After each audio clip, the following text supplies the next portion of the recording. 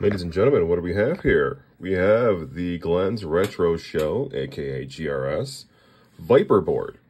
Thank you, Glenn, for sending this to me. Uh, I know you sent it to a few other people's also, but I am doing this little video to show it off a little bit here. So this is what the board looks like. Uh, this little black wire coming off it is a Wi-Fi adapter. Um, and I believe Glenn said that this is the RAM. Um, that can be replaced or upgraded according to him, and the notes. Sorry, I'm trying to get that out without ripping it out. All right, so we have the Viper board here. Um, we have a barrel jack up the top here, which could be for power. And then we have three USB ports. We have a USB-C, and then we have the micro HDMI, and I believe a speaker jack. If I could be stand corrected if that's not a speaker jack. Um, and then we have his instructions.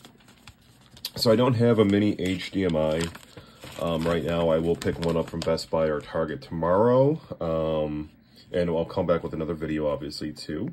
Uh, I'm going to work on an image for this. Um, so as a few other people. Um, but I'm going to work on porting over my 256 Batocera. And I'm going to work on porting over my light gun also. So we got the GRS Viper. Uh, this is what it looks like. We got the GRS Viper. is currently running Batocera 37 Linux. Uh, 5.10.160. The Sinden, the GRS Sinden light guns are natively supported. GRS spinners, trackballs, flight stick, and yoke, GRS Ikari Warriors, all are supported. Power can be 5 volt, 4 amp barrel jack, which was that little jack at the top over here, or USB Type-C to PSU. Specs.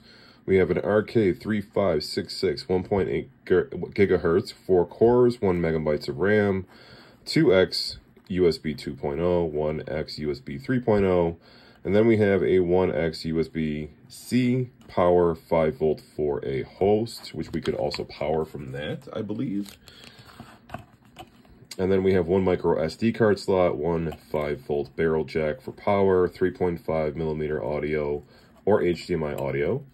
Uh, removable, upgradable CPU RAM daughter card, Wi-Fi external antenna, uh, mini HDMI port, one DSI display connector, um, and 40 GPIO pin. Second page.